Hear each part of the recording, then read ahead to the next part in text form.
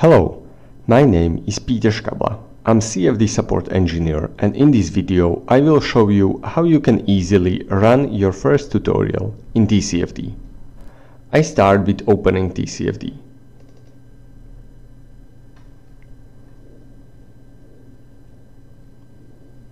Now I want to load a tutorial. I use load button. Tutorial can be found in TCFD installation directory. And if you do not change the default installation destination, then it is on disk C in directory TCFD 18.06 as a version in directory tutorials Axial Fan Simple and now we select Axial Fan Simple TCFD file. Tutorial is being loaded and now case is already prepared and we can start TCFD Manager. Pressing apply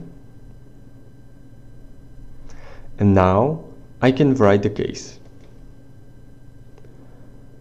After writing a case, I only click on Run All and case will be automatically computed. Now I need only wait. The other way to open the tutorial is by finding it through File Explorer, going again to TCFD installation directory, tutorials, Axial Fan Simple, and double clicking on TCFD file. CFD support dispatcher opens and I select TCFD 18.6 version.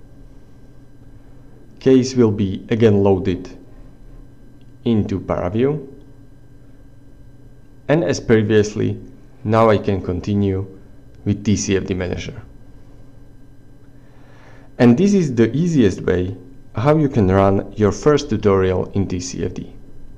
Thank you for your attention.